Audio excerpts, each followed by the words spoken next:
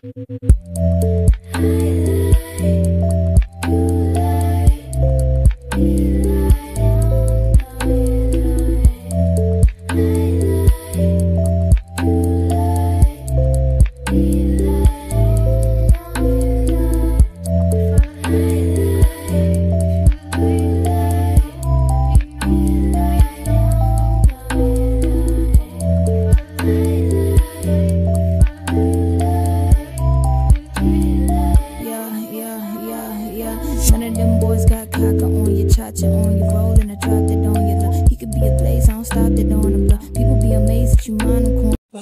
to my YouTube channel, you guys. It's your girl Nika Caramel Barbie.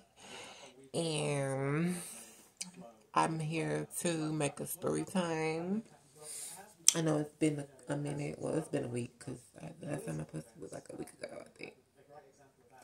I'm here to do a story time, a juicy story time about when my mother clocked, well, my mother's one night stand well, she she told her her one night stand that I was trans.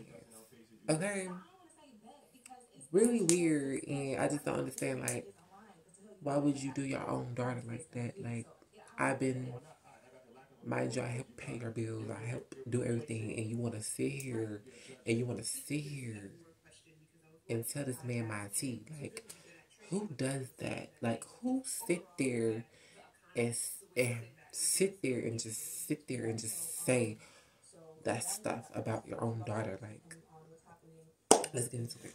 So, this is like a long time ago, like I say two years ago, when I came back from outer state.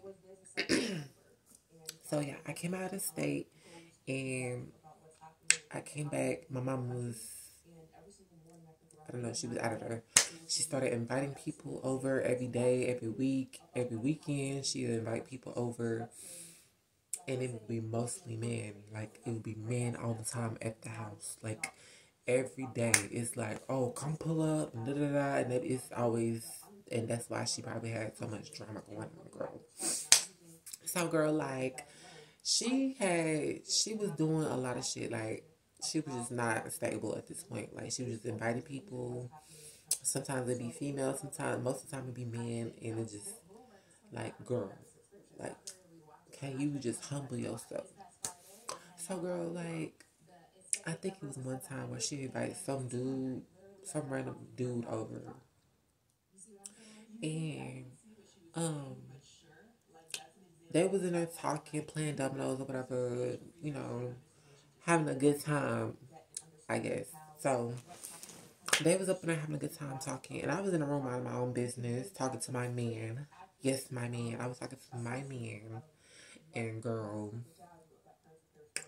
we was talking. Well, I was on, on the phone talking, minding my own business, doing me, you know.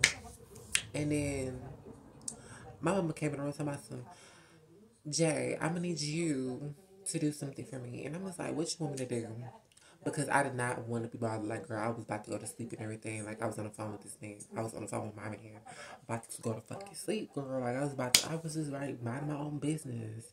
Another fucking reason why you should not bother somebody that don't bother you. But you had the nerve to come bother me. But she came in the room saying, Jay, can you go do something for me? Please. I just want to test this man test his man. What you mean by test his man? What you mean? Like, test what, what you trying to test his sexuality? What? Like, because when she starts saying test this man, I start going, I start thinking about a lot of shit. I start thinking about, oh, she talking about, oh, I start thinking like, oh, what she mean test this man? What you trying to do? Test how he, how he look at people or what? And I'm just like, why? Like, why do I need to She's like, I'm gonna need you to go get cute and stuff like that. Girl, my I had my button on. I had no lashes on. I had no makeup on. Like I had nothing on. Like pure face, pure fucking face, like this, but without lashes and yeah. So she wanted me to go get cute and like basically just be done up, and I'm just like huh? Why? Because I you coming here bothering me, and you want to use me for an example. Like, I don't understand. So she wanted me to go get cute, so I go get cute, whatever. I put in my contacts or whatever, eyelashes and everything. She was like, and, and the whole time I'm getting ready, she's like, I want to see if this man really, really, really into women or something like that. She was saying some stuff. She was saying stuff like that, and I'm just like, at this point, I just start. At this point, I was just like, really, just inside. I was just like, what the fuck, bro? Like your own mama, your own mother is saying this shit. Your own mama is saying this shit, right? So the dude she supposedly her one night stand girl, whatever you want to call it, girl. He's he's a light skin, and you know how most light skinned niggas is. They they consider to be fine or cute, whatever you call them, like those type of light skinned niggas. And girl, when he saw me, girl, he was like, "Hello, beautiful." This man probably hate women like me, and he could have killed me. He could have, he could have executed me. Like, girl, why? Like, how how how are you a mother and you and you're outing your child to a stranger that you even barely fucking know? Like, what? Are you serious right now? Next thing you know, the man was like, I don't care. And then my mom started getting mad, talking about some, what did I say? What did I say? And I'm just like, girl, I just started side not at this point I started side eyeing her. So you're gonna really say that about your own daughter that's really helping you with your bills, that's helping you with the things that you want and need, but you wanna sit here and out me in front of a man that that uh, that really barely even wanna be with you. They only just wanna bust a quick NUT and get the fuck out the house. Like? Girl, are you serious? Over a one night stand, really? Now you probably got him uh curious now. That's probably why he didn't want to stay with you no more. Cause you you know out your child now. He's he's curious about other things that you're not out your child now. Cause I don't at that time of point I was possible as fuck, and I'm still am today. Like, come on now.